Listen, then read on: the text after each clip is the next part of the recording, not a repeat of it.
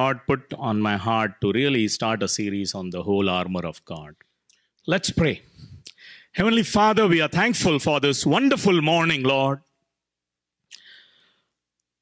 How you have given us all the equipment and the tools to fight the enemy. And Lord, not only that, you yourself are a man of war. And we just join you in that battle, Lord. You don't leave us alone, but we are in the army of God to fight this battle. We thank you and praise you. In Jesus' name we pray. Amen. Amen. So, a quick story, even from the conference. You know, we were at the site at 8:45 in the morning, and Simon is already chuckling. We had a lot of challenges, but how the Lord came through, I just want to share a quick story. At 8:45 in the morning, I listened to the audio for the live broadcast, and there was only noise on it. This was at the conference, 15 minutes to start the conference. Really, it was um, it was a tough one for me because we had made commitments to some uh, large media networks for a global broadcast, three of them. And it's in, your integrity is everything. Your word is everything.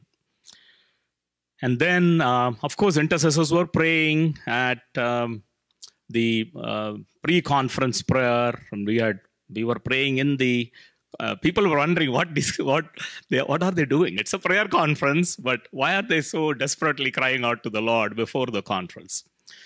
And then Pastor Jemima came to the media table and really fought a spiritual warfare.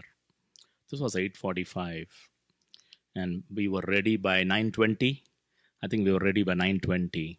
Uh, but kudos to the team. I think we kept the team kept their cool. I don't know if I was cool.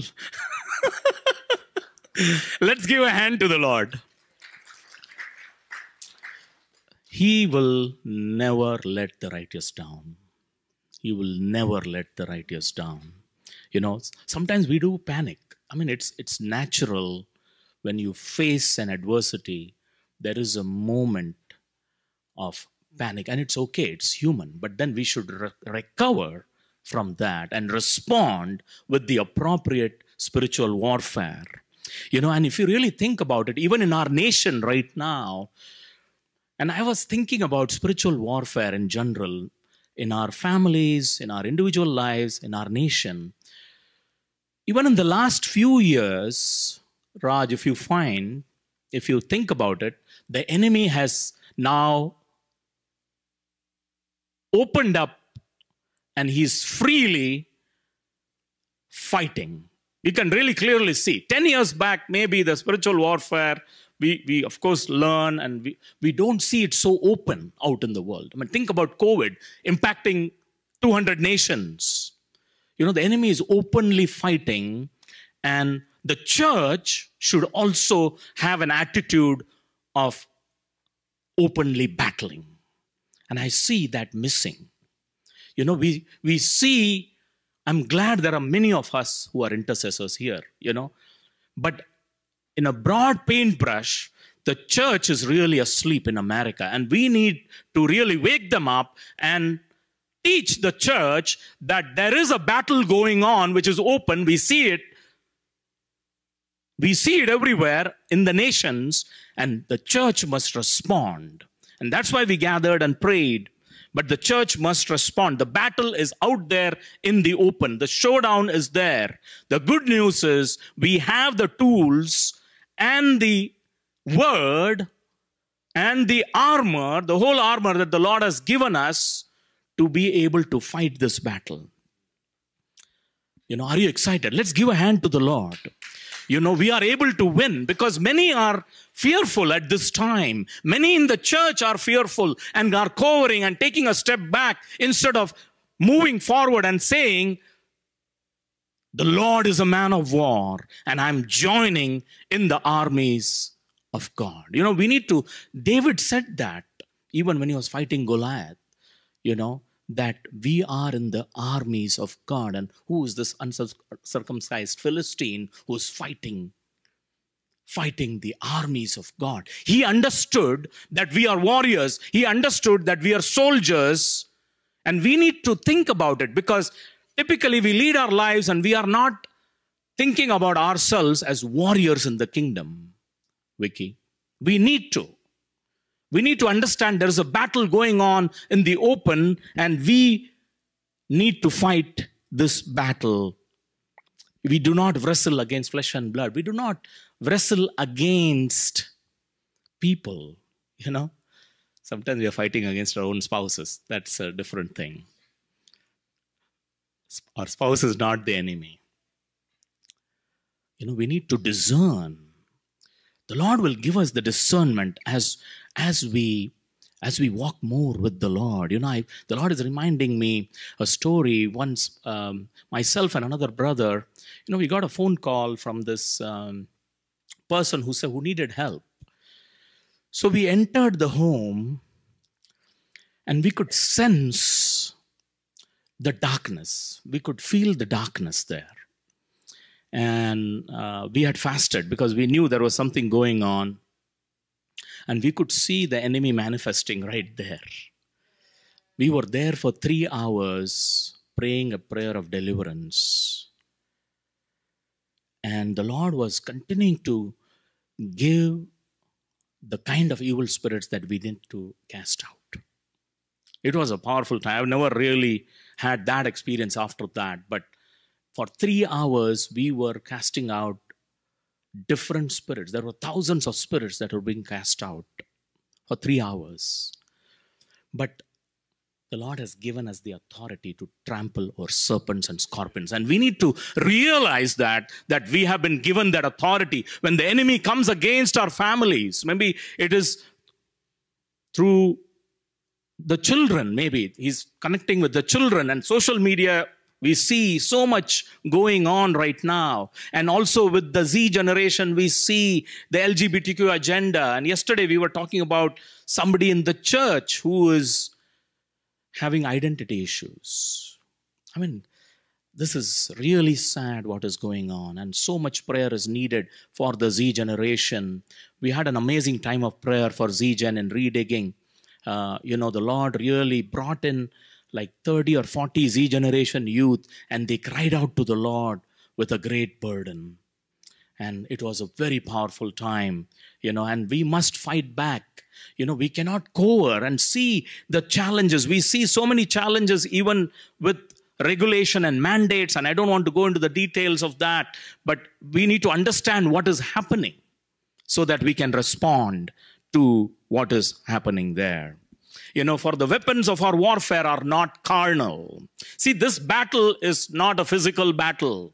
We are fighting the spiritual forces of darkness, the principalities, the powers, the spiritual hosts of wickedness in the heavenly places. That's what we are fighting against.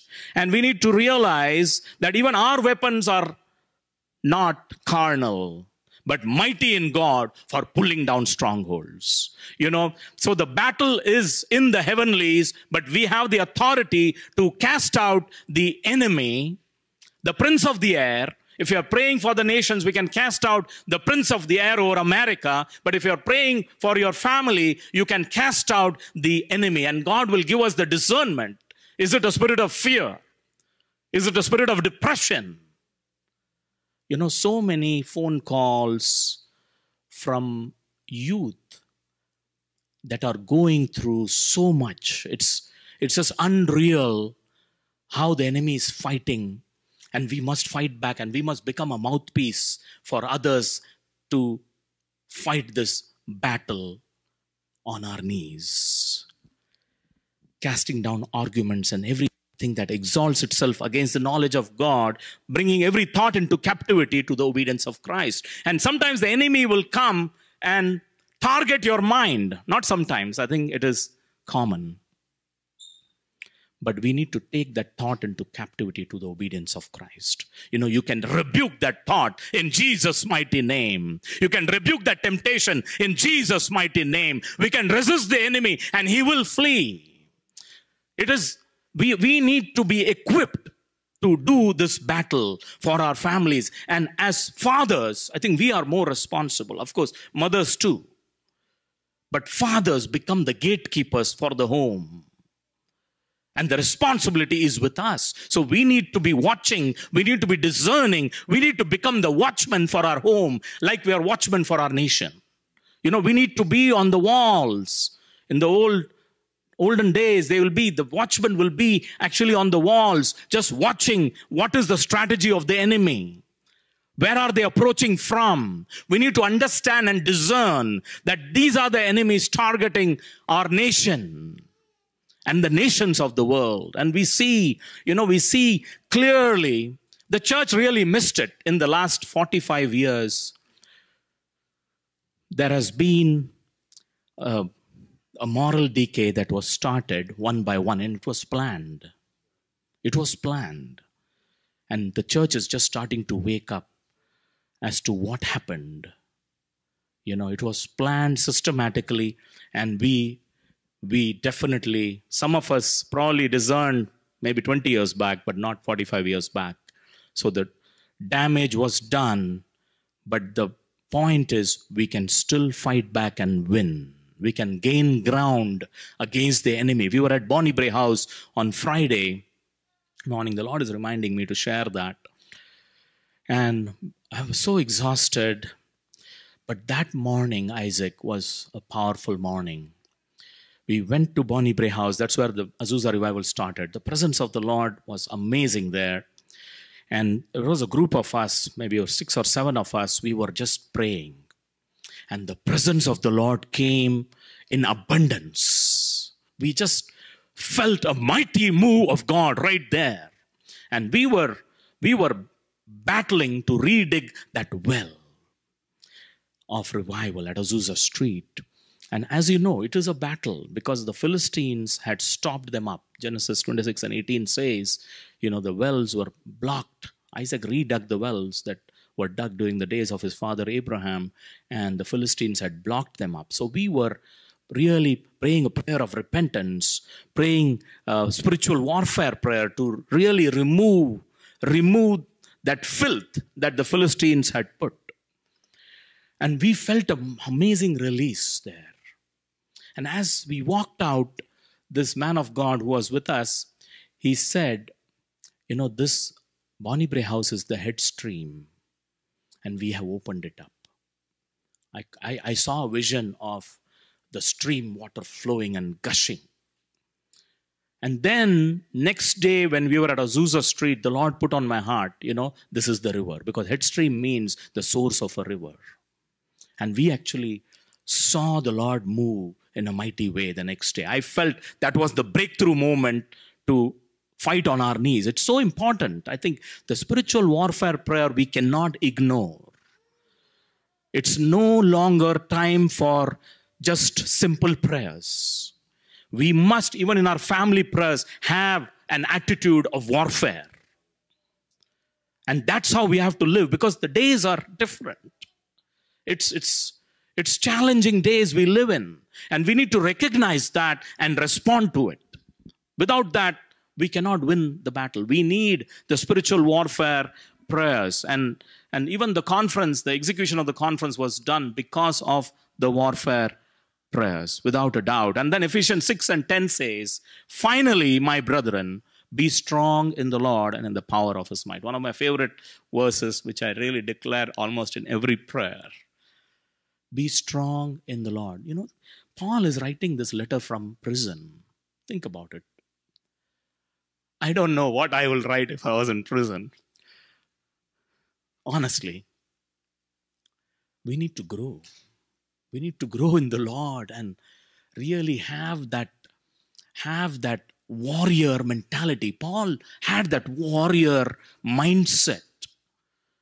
No, he didn't feel bad for himself. He was saying, I'm going to, whether I'm in prison or not, I'm going to train people. I'm going to write to people. I'm going to encourage people. I'm going to teach them a few principles so that they can live their lives. And he's, he's just totally sacrificing his life to bless others as an apostle. You know, be strong in the Lord. Couple of things I want to share today. First is Stay with me. Be strong in the Lord. Strong. I know it sounds so simple, but we need to implement it.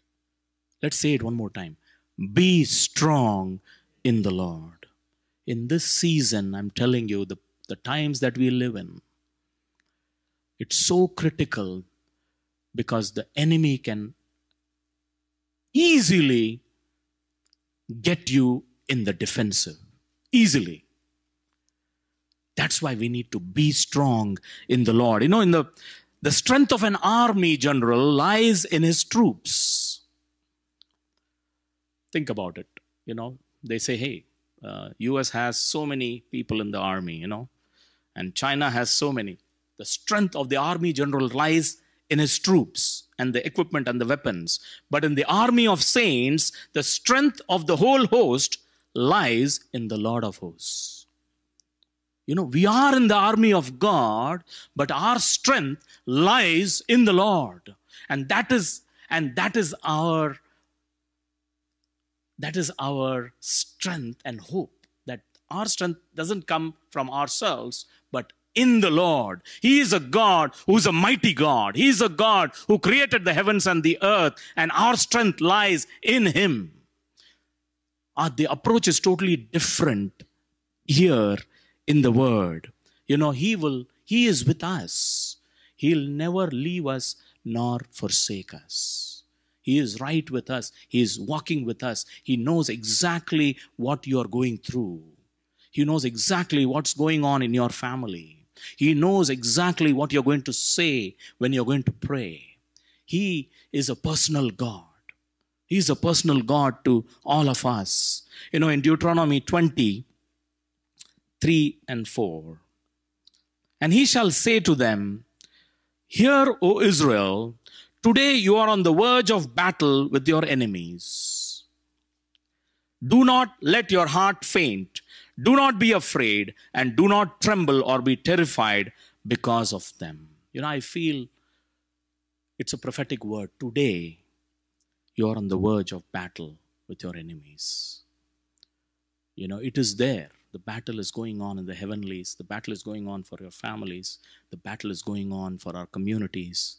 The battle is going on for our state right now. I mean, there is so much going on. Our state and our nation. There is a battle going on for our nation right now. And we better realize it and we respond because otherwise we lose our freedoms. It's, we are already losing many freedoms. So it, it is critical. It is critical. Do not tremble or be terrified because many are trembling and terrified right now, saying, we are losing our freedoms. That's, it's not the time to cower, it's the time to move forward and say, What can I do to help? And not many are saying that. What can I do to help? It should be our response because our families can be impacted eventually if we don't act. Of course, if we act, God is going to take care of us. God is going to take care of us. But we must act. We cannot not act, if I can say that. Do not let your heart faint. Do not be afraid. Do not tremble or be terrified because of them. For the Lord your God is He who goes with you to fight for you against your enemies to save you. See, the thing is, God is going to do the battle. We need to join the army of God. We need to have the mindset of a warrior, and he will do the battle for you. The word of God says, The Lord is a man of war, and the Lord is his name. He is a man of war. He can fight the battle and defeat the enemy. He's already defeated the enemy. In Exodus 15 and 6, it says, Your right hand, O Lord, has become glorious in power. Your right hand, O Lord, has dashed the enemy to pieces. That's what we need. You know, the enemy is raising his ugly head in all the seven mountains, and I don't have time to go through all the seven mountains, and, but family is one of the mountains, and that's where we see a big battle going on. Suicides are up, depression is up, drug addictions are up. Schools have restarted, but there is so many challenges that the youth are going through you know, the COVID deaths are sparse as connected as related to suicides.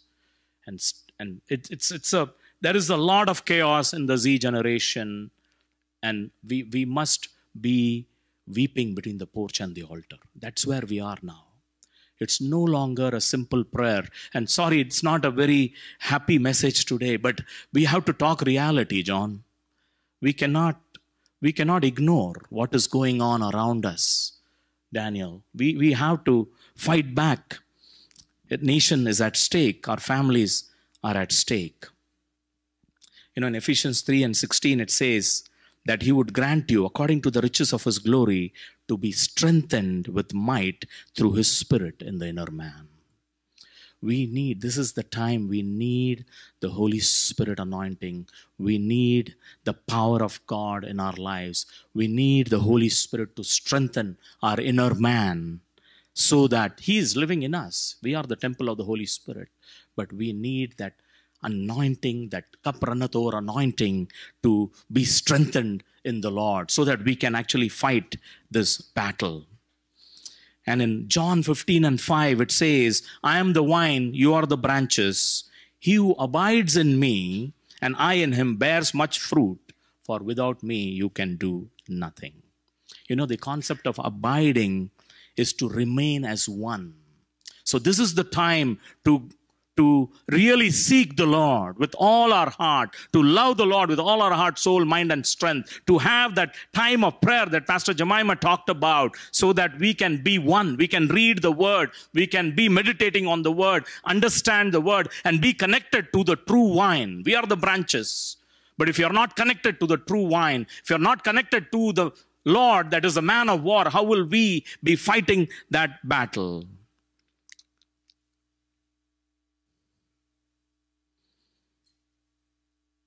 You know, I remember even Caleb and Joshua. We talked about Caleb a couple of Sundays back in Joshua 14 and 11. He's saying, even physically, he's strong, as strong as he was at 40 when he was 85 years old.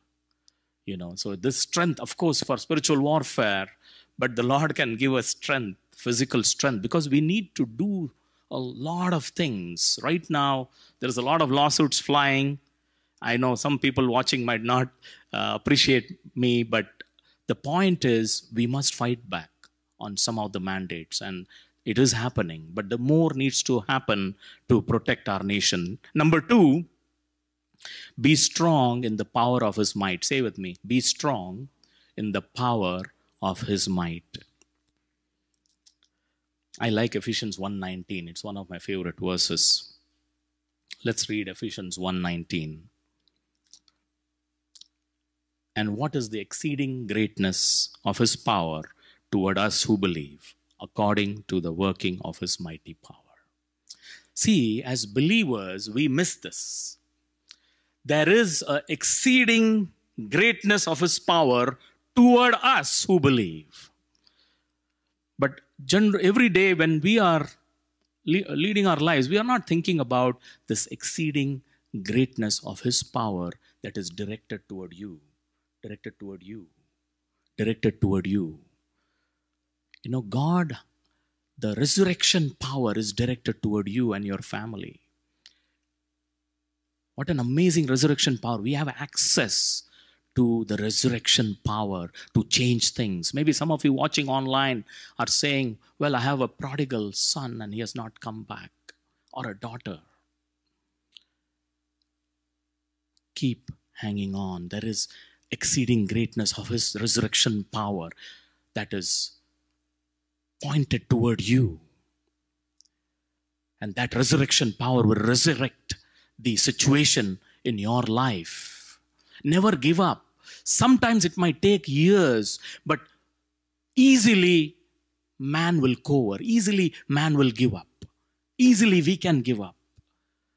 But we need to understand Ephesians 1:19, the exceeding greatness of his power toward us who believe. Are you, are you a believer? Let's raise your hand. Then there is an exceeding greatness of his resurrection power available to you and your family. You know, we, we don't think about it that way. And that's why the church is afraid today. The church is afraid today. And it shouldn't be the case. The remnant, us right here, and, and there is many other groups that are a remnant in the nation. And that's why there is great hope for America and our families. You know, of course, we say, I want to make sure my family is okay and our church family is okay. But we need to realize this exceeding greatness of His power is available to you.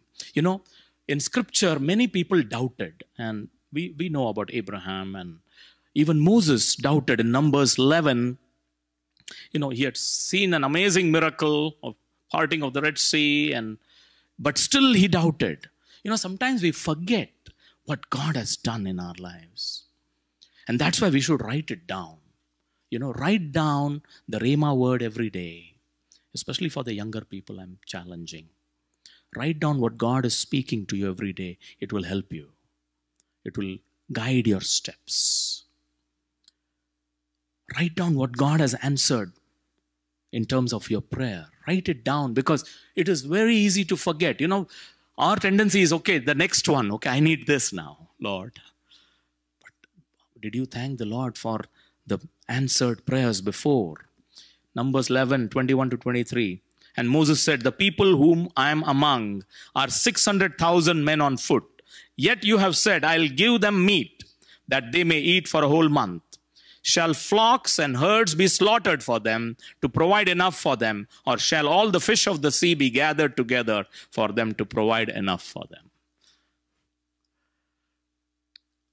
See the lack of faith there. I think I don't know if we are better than Moses, but just want to point out. I'm sure he's going to question me. you were, how about you? You know? not not to i think we all could be in that position. We just saw a miracle yesterday and today we are questioning god. And then martha and mary regarding lazarus we probably don't have a lot of time to go through that but they also doubted. It's been 4 days. There is a stench now. Lord if you are here he would have been okay. You know they doubted. The question is do we doubt as well? Do we doubt as well? You know, faith is in our spirit man. That is the good news, okay, even for those who have a moment of doubt, Simon. If our faith is strong, if we have been feeding on the word, we can overcome that doubt because the faith is in the spirit man. The doubt is in our soul, in our mind, in our mind the faith can overcome because the faith is in the spirit man. That's why we need to continue to feed on the word because the word of God, as we listen, as we hear, faith comes by hearing the word of God. And it's important for us to overcome that doubt. If we do not have faith, if the faith is low, then then the doubt will take over. That's that's the point. Doubt cripples but does not incapacitate faith. So if we are being fed the Word of God, and if you are feeding yourself on a daily basis, then you can overcome that doubt.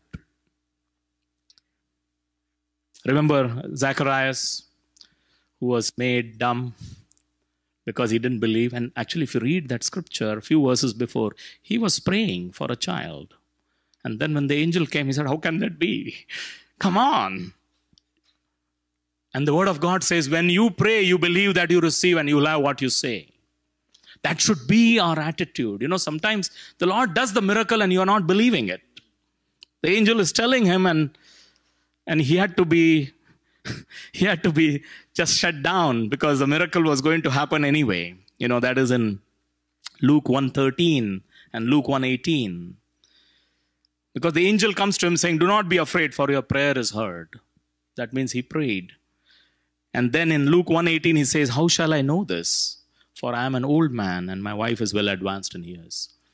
You know, within within a short period of time, how we forget uh, what we have prayed for, and the Lord has answered that. And I'll wrap it up with one last verse in Isaiah 40, 29 through 31. He gives power to the weak. Do you feel weak today? You know, God is a God who gives power to the weak, and to those who have no might, He increases strength. How many need increased strength? I, I need more strength. I need more strength. He is the one. To those who have no might, He increases strength. Even the youth shall faint and be weary, and the young man shall utterly fall. But those who wait upon the Lord will renew their strength. We saw that. I think Pastor Jemima finished the sermon even in the prophetic word. And we had not talked what we are going to share. We are in the same home, but we are not, there is no time to talk. We need to, we need to take a vacation. But those who wait upon the Lord shall renew their strength. We need strength. We need to wait upon. I looked up the word wait. You know what it means to bind together. And then in bracket it says perhaps by twisting. To bind together, perhaps by twisting. Very interesting, Daniel. I, I, I learned this as I was preparing. So, of course, waiting upon the Lord is spending time in His presence. Of course, having a conversation with Him, praying. But the meaning is to bind together with God. Perhaps by twisting. Basically, it's like the true vine and the branches, really connected with God. Bind together with God, abiding with Him.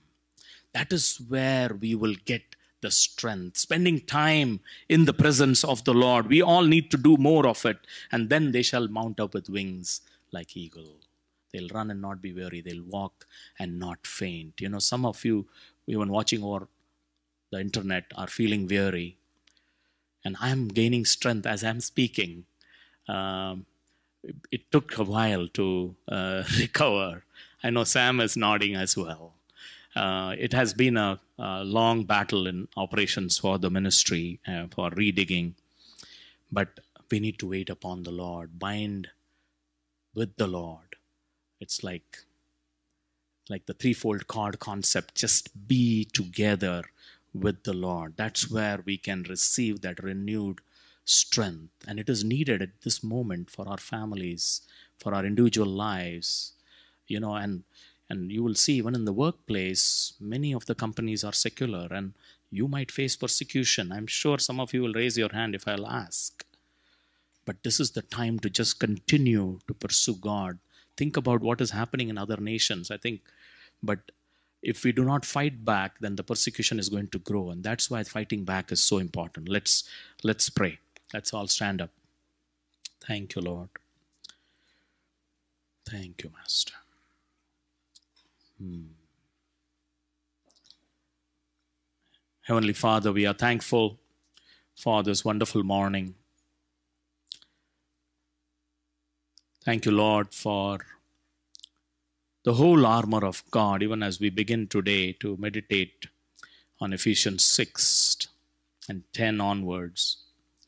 Give us grace to learn, give us grace to understand, give us grace to implement, give us grace to be warriors in the kingdom, have that soldier mentality. Help each one here, Lord. Strengthen each one to be warriors in the kingdom. Strengthen each one to be soldiers in your army, Lord. And you will take care of our families even as we fight this spiritual warfare. You will take care of our families. You will take care of our communities. You will take care of our state and even the nation, Lord. Thank you for teaching us how to fight this battle. Thank you, Lord. Some of you are watching and are wondering what is this warfare about and who is this Lord who is a man of war? The name of this God is the Lord Jesus Christ. And I really, I know the Lord is tugging some of you who are watching online to find out about this Creator God. If you would like to pray with me, you can be a child in the kingdom of God. So let's pray.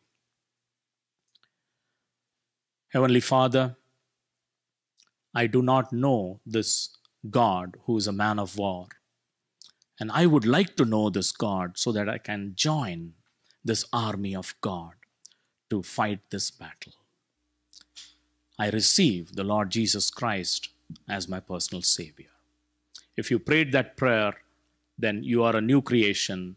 Find a Bible believing church and a Bible preaching church and be part of that church. It's important to be in a community of believers. If you are in the Bay Area, you're welcome to join us at the Blessing Church. Let's pray. Heavenly Father, we are thankful for this wonderful morning, Lord. Thank you for this gathering today. Thank you for the service today with the dedication for Cadmiel.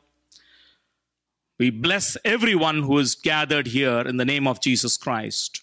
And Lord, we know that we have warriors right in this room. And I pray that they will receive a mighty anointing, a double portion, a cup runneth over anointing, Lord, to fight for our nation, to fight for our families, Lord. Strengthen each one. Let each one be strong in you and in the power of your might. Let the power of God be in their lives. Anoint each one today, Lord, to be warriors for our families, for our individual lives, and for our nation. Thank you, Master. Thank you, Lord. Thank you, Master. May the grace of our Lord Jesus Christ and the love of the Father and the fellowship of the Holy Spirit be with each one of you now and forevermore. Amen.